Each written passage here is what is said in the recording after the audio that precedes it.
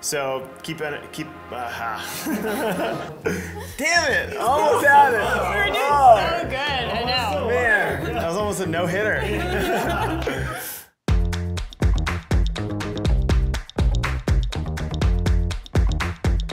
Hey guys, I'm Chris, a gearhead here with Competitive Cyclist, and we're here with Hannah Otto. She's in the studio to talk about her upcoming FKT attempt of the whole enchilada. Are you excited?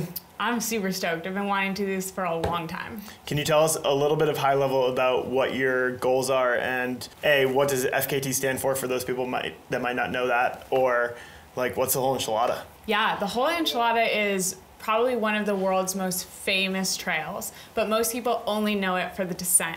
So it's about 26 miles downhill with almost 8,000 feet of descending. But I'm not only going to do that, I'm also going to climb up the fire road to start. Um, Badass. yeah. So I think the most exciting thing about this for me is it combines all skill sets of mountain biking, which is what I love about mountain biking. There's always a different place that you can be improving or cutting off time, and that's what I hope to do, have the fastest known time for this trail. That's awesome. And as you know, like it's all a mental game, but also you need to be prepared from a physical and a gear standpoint. Um, tell us a little bit about the bike that you're planning to use for this attempt and why did you choose it? Yeah, like I said, this is a really unique type of attempt because while most people on the downhill of the whole enchilada might ride an enduro bike, and the uphill you might ride a hardtail, doing both, I'm gonna have to find the perfect in between.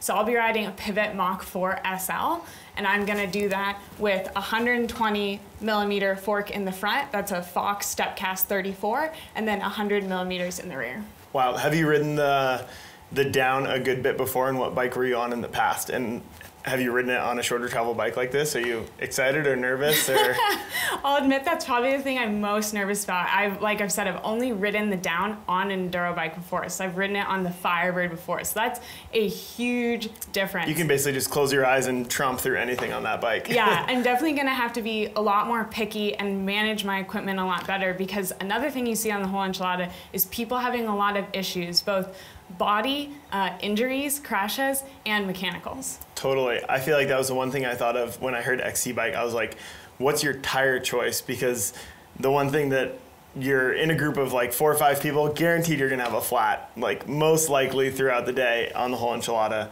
I've dealt with it. I know a lot of friends have dealt with it. So, you know, your mental capacity to just have to focus on your line choice just for flat prevention alone is gonna be huge. Absolutely. And I'm to ride the Kenda Booster 2.4 tire in the front and the rear. And that should be quite fast and light for the climb, but just allow me a little bit of extra forgiveness on the descent. Um, and I will have a CushCore in the rear. Good call. Good call. What tire pressure are you gonna run? That's probably going to be a game time decision when I get out there and when I start to feel it and do some of the pre rides. But I would guess around 17, 18. Uh, the one interesting fact for that is it's gonna heat up throughout the day, and I'm gonna be going up in elevation a lot. So I might actually start a little bit lower in anticipation of that rise. Good call. In terms of how you have your bike set up, is it mostly set up from the factory like this from Pivot, or is everything pretty customized, like different wheels specific for this, or like what have you changed out? A lot of it is pretty spec for pivot, but like I said, I have the 34 on there. I'm running, um, I'm running a very XC type of wheel, but I have a lot of confidence in what DT Swiss makes that it can withstand this type of um, aggressive descending. So I'm going to be running a DT Swiss XRC 1200 carbon wheel, and then I've got Shimano XTR. I've got 32 in the front. 1051 in the rear, and then I have a Stages power meter on my crank to measure the effort. Nice. Are you more concerned about weight or durability with something like this? I think it's kind of the Goldilocks paradox. It has to be perfectly in the middle. In terms of your suspension, it seems like you have a lockout on both the fork and the rear shock, so probably going to lock them out for the climb up. Yeah, and I think that's one really good thing about the lockout is I think this trail in particular is going to be fully closed and fully open. I think mm-hmm. on that descent, there's not going to be a lot of jostling in between. So that lockout will give me the ability to just set it and forget it on the climb. And then once I get the top, I think that'll actually kind of be a fun mental switch to click as well. Because when I click it mentally, like, now I'm all of a sudden down. I'm in descending mode. Yeah. And are you adjusting your sag? Or are you going to keep the same sag percentage as like just so your bike feels normal, how you normally ride it, and you're comfortable on it, or are you gonna like stiffen it up or soften it for the tech, or any insight there? I think I'll keep it probably pretty standard for me. Awesome. Um, so jumping away from your bike and more into you and what it takes to prepare physically, starting with food. Um, what does run us through like the day before, how you prep um, for this ride? Do you carbo load? Do you eat really like fresh food, or do you try to like get a lot of calories in before and then just keep it consistent throughout the day? Of what's your kind of run a show there with food? Yeah, I think the most important thing for big efforts like this is to never dip into your glycogen storage into the days leading up. And so even though I'll continue training, even though I'll be looking at the the route and doing lots of hard rides still, I'm going to make sure that I'm constantly topping off with lots of glycogen. So that's where people might call it carbo loading, but to me it's just making sure that everything is at the maximum that it can be with lots of good and You got a full simple tank. carbohydrates. Exactly. Nice. And how are you planning to carry uh, nutrition on the ride? Yeah, I'm gonna have um, fluids in my USWE pack along with some flat pre- prevention items. Um, and then I'll actually have all of my food in my back pocket for super easy access because if it's not easy to reach, it's the first thing you just forget. And then with that food, I'll be aiming for about 80 grams of carbohydrates per hour throughout the whole attempt. Awesome. Um, and yeah, how much water are you planning to bring from like a liter standpoint? Yeah, I think I'm gonna bring at least two liters, if not two and a half. It's Okay. still something I'm playing with because, like I said, I want to keep it light, but that'll probably be determined based on how hot it is on the day of. And I, when I'm thinking about this, I'm like, okay, maybe I would like try to drink the most of my water on the climb up, and that way I have le- less weight for the way down, and you're hydrated, and you don't have to think about like, you know, drinking Yeah, on the way down. But when it's so the way dry, up is where you don't want the weight. true. so you're just gonna drink it all in the first mile, and then you have to stop and pee. Yeah, exactly. So in terms of your backpacking, carrying things like water and food, you mentioned a couple tools. You have a CO2 with an adapter. Are you gonna have a tube or a multi-tool or anything? Yes, I'll have a multi-tool and a tube in my saddlebag on my Cool. bike, um, and I'll keep that there because if I'm having to stop to change a tube, it's going to be a little slower, anyways. Yeah. Um, but I'm going to have a Stans Dart in my back, in my in my pack, so that it's pretty easily accessible, so that hopefully I can catch it before it turns into anything more catastrophic. Totally. And in terms of um, like a mechanical, like say, I guess a chain break or a flat, do you think that could like ruin the attempt, or how are you prepared for that mentally? Yeah, um, so I'll have my Stages M200 dash and it will be on continuous. So there will be no pausing. So if I have any issues, time continues to run.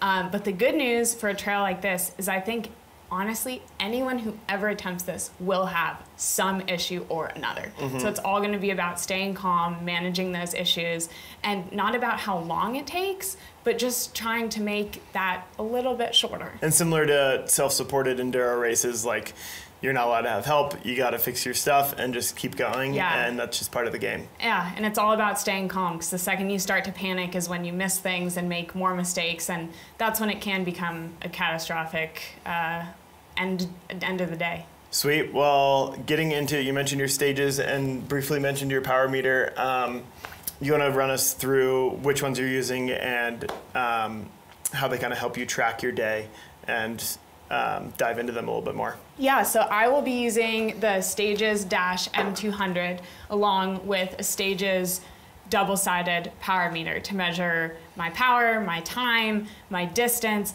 which are all really big things to be looking at. Time because it's the fastest known time. I want to know how fast I'm going. Mm-hmm. Distance because it's going to be a really long time. There are gonna be times out there where I'm like, when is this going to end? And mm-hmm. I'm literally going to be counting down, you know, the points of a mile. Totally. And so I think I might actually have distance to end on this so that it's counting down. Nice. Um, and then that climb, it's going to be several hours long. Mm-hmm. And so pacing, especially at the start, since it's not a race, since it's just me, and I'm going to be nervous and excited, I'm going to want to definitely look at my power so that I pace myself Yeah, well. not just drain your battery. Exactly. Yeah, cool.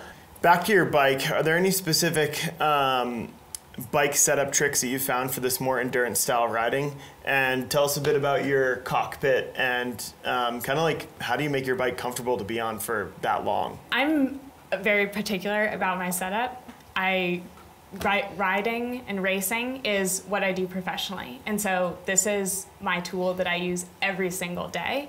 And so for me, everything is down to the millimeter. And if it changes, I will know. Um, so I'm very particular about the fit in general. And then once I have that fit, it never really changes. So this is the same fit that I would race for a World Cup as I would for this long endurance style effort. And that's because I feel like it puts my body in the most comfortable position, but also the most optimized position to put out that power. And I think in many ways, those things have to be the same for a professional athlete. Nice. That's awesome intel. Yeah, so I've done uh, pretty full pull from the top to bottom, trying to be pretty quick, and it is brutal on my hands, on my forearms, everything, and you're going to be on a shorter travel bike. Tell us about what you're doing to mitigate maybe that, uh, what grips you're running, and uh, are you going to use gloves? Yeah, I think the arm pump is going to be real out there and the hand fatigue. So I'm going to be running um, Handup the summer gloves, and then I'm going to be running ESI Fit CR grips, which I really like that ergonomic design. It helps my hands stay a little bit less fatigued, and I really like the material that they use as well. So yeah, I mean, I think at the end of the day, it's going to be hard no matter what, but that's what I'm doing to mitigate it as much as possible. Nice. And in terms of like, physical challenge. There's a lot of really technical parts of this trail. And like you said, you're climbing up the fire road, but you're descending like one of the gnarliest enduro trails in the world, um, especially in the United States.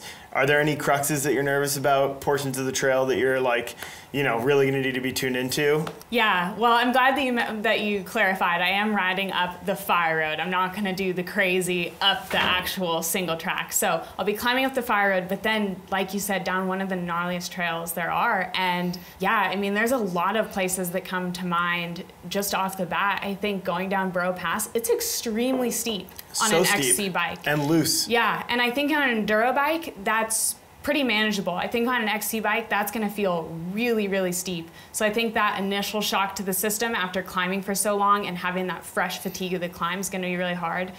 I have to mention the snotch. Everyone knows that that's going to be near impossible on something like this. And then, of course, Porcupine Rim. That's actually my favorite part of the whole trail. Such a good section. But how many hours in, how much fatigue am I going to have? It's going to be a place that you really don't want to make a mistake, and I'm going to have to be extra cautious and extra alert going into that. One thing I was thinking of too is you'll have that like steep tech fast section right at the top of Burro Pass. You'll get into Hazard, and I feel like that's kind of flowier, a little bit faster pace. And then maybe UPS, LPS, that stuff will be really good on this bike. I it's a little so. more open. You can have good line choices, and maybe not just be chundering for you know the whole time down. I think so. I think the bike will be really perfect for hazard, LPS, UPS. The only thing about that section is I think there's going to be a tendency to think it's a little bit more mellow, I Mm-hmm. can relax, I can ease up, and that's when your mind gets distracted happen. and you make a mistake. And there's some pretty consequential sections in there when you're tired. A couple of those corners are either you go left or you fall off a huge cliff. Oh, absolutely. So, I mean, I'm gonna be have to. it. I'm gonna have to be aware, even of making sure that I'm following the right trail the whole time. And you know, making a mistake and crashing is one thing, but it's a very hard trail to then continue on if I am in a little pit of pain or something Mm-hmm. like that. So it might even be worth it to ease up ever so slightly in order to not make a mistake. And conserve some energy for, like you said, Porcupine Rim. Once it gets tighter single track at the bottom, there's some technical moves in there that are you'll need your full focus and energy for. So, Yeah, I like to call them those max power moves for sure. Yeah. Yeah. So you're gonna hit the big whale drop on the left towards the bottom, the optional line. I don't know how many optional lines I'll be taking out there. Cool. So I think the only few things we haven't talked about is your shoe and pedal setup. Um, and then also maybe like protection in terms of, I know a lot of people ride the whole enchilada with knee pads, obviously a helmet, uh, glasses. Do you want to run us through the rest of the gear here that we haven't talked about yet? Totally. I debated shoes actually for a really long time because in an XCO style race, you're going to run the lightest, most aggressive style shoe. But on this attempt, it's so long, I'm gonna make mistakes. I'm going to have to put a foot down. And so I ended up running, wanting to run the Giro Empire because I think that the bottom sole of the shoe is actually gonna allow me a little bit of forgiveness when I do have to maybe potentially hop off my bike for a second if I make a mistake. Um, and also it's still stiff is going to allow me to climb really well. Um, and then other than that, I'm going to run the Giro Helios helmet.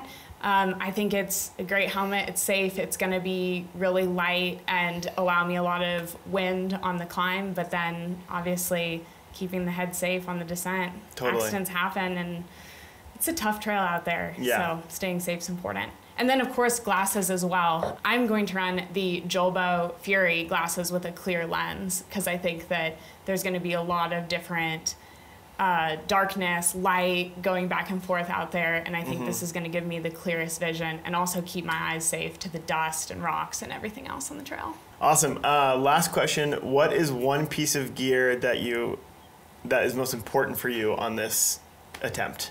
Um, I think honestly, I'm really excited about riding the Mach 4 SL, and I'm really excited in particular um, just about the way that it runs. So the DW link really allows it to not bob a lot on the climb. So I think it's just going to be the ultimate machine for this because then also when I do unlock it, it has a lot of cushion, a lot more than you would expect on the descent. So I'm super excited to put this thing through the ultimate test, in my opinion. Sweet. Well, thanks for giving us all the details on your setup um, for your attempt at the FKT. Make sure you comment below and ask Hannah any questions. Subscribe so you can see the upcoming video. And uh, yeah, super nice to talk to you and good luck out there. Thanks, I can't wait. Cheers.